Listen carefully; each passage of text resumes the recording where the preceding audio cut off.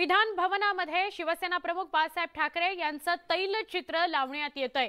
आज बाळासाहेबांच्या जयंती दिनीच या तैलचित्राचं अनावरण करण्यात येणार आहे. या कार्यक्रमाला उद्धव ठाकरे गैरहजर राहणार असल्याचं शिवसेना खासदार संजय राऊतांनी स्पष्ट केलं. शिवसेनेचा दरवर्षीप्रमाणे षण्मुखानंद सभागृहामध्ये संध्याकाळी साडेसहा वाजता मेळावा आयोजित करण्यात आलेला आहे.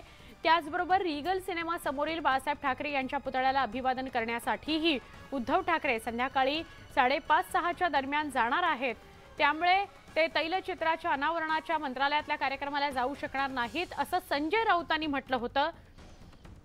पण सं उद्धव ठाकरे किंवा आदित्य ठाकरेंनी या तैलचित्राच्या अनावरणाच्या कार्यक्रमाला उपस्थित राहावं यासाठी मंत्रालयातून प्रयत्न केले जात आहेत. विधानसभा अध्यक्षांनी सुद्धा स्वतः फोन केलेला आहे. जो माणूस देशाचा पंतप्रधान नाही राष्ट्रपती नाही कोणत्याही शासकीय पदावर नाही आज त्यांचं सुद्धा तैलचित्र त्यांच्या विचारांना त्यांच्या सुपुत्राला विरोध करणाऱ्या लोकांना लावावा लागतोय. याचा अर्थ की हा हिंदू हृदय सम्राट शिवसेना प्रमुख मान्य बाळासाहेब ठाकरे यांच्या व्यक्तिमत्वाचा यांच्या विचारा विचारांचा त्यांनी घेतलेल्या भूमिकांचा भूमिकांचा हा खूप मोठा सन्मान आहे आणि विजय असं मी मानतो. अटकपूर्व जामिनासाठी राखी सावंत हिची धावाधाव सुरू झालेली आहे. राखी सावंतनं मुंबई उच्च न्यायालयामध्ये धाव घेतलेली आहे. सत्र न्यायालयाच्या निर्णयाला तिनं आव्हान दिलेलं आहे. शर्लीनची तक्रार आहे. राखी विरोधात गुन्हा दाखल आहे. तिला अटकही झाली होती. जामीन मिळाला होता. आता अटकपूर्व जामिनाकरता राखी सावंतने धावाधाव सुरू केलेली आहे. मुंबई हायकोर्टात तिनं धाव घेतलेली आहे.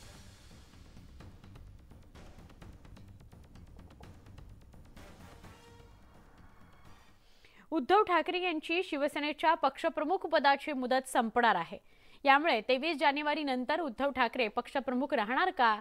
हाच मोठा प्रश्न ठाकरे गटच नाही तर राज्यातल्या राजकीय वर्तुळात आहे. शिवसेनेच्या शिंदे आणि ठाकरे गटात शिवसेना पक्षावर ताबा मिळवण्याकरता संघर्ष सुरू आहे.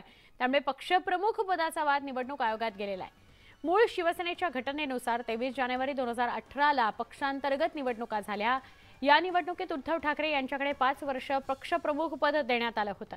ही मुदत तेवीस जानेवारी दोन हजार तेवीसला पूर्ण होतीये. एकीकडे मुदत पूर्ण होत असतानाच शिवसेनेचा वाद निवडणूक आयोगात गेलेला आहे. या वादावर तीस जानेवारीला सुनावणी होणार आहे. आजपासून तीस जानेवारीपर्यंत दोन्ही गटांना लेखी उत्तर सादर करायचं आहे तसे आदेशच केंद्रीय निवडणूक आयोगानं दिले आहेत.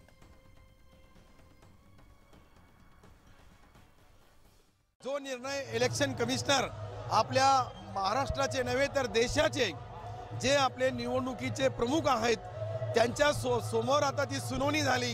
अंतिम निर्णय ते जे देतील ते नियमाप्रमाणे होईल आणि नियमानुसार ज्यांचा कार्यकाळ संपत आहे त्यांना जोपर्यंत या पक्षाचा चिन्ह आणि नाव मिळत नाही तोपर्यंत मला असं वाटतं की त्यांना प्रमुख पदावर राहता येणार नाही.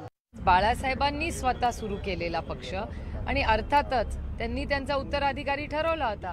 त्याच्यामुळे ज्यांना बाळासाहेबांवर प्रेम आहे ते बाळासाहेबांचा निर्णय कसा चॅलेंज करतील? त्याच्यामागे कुठलं तरी षडयंत्र असेल तर किंवा स्वतःचा स्वार्थ असेल तर काय करू शकतो? उद्धव ठाकरे हे शिवसेनेचे पक्षप्रमुख आज आहेत उद्या राहतील आणि यापुढे राहतील निवडणूक आयोगाच्या काही तांत्रिक गोष्टी असू शकतात.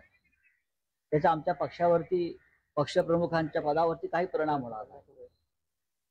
त्यांची निवड पक्षाच्या प्रमुख नेत्यांनी आणि प्रतिनिधींनी केलेली असते.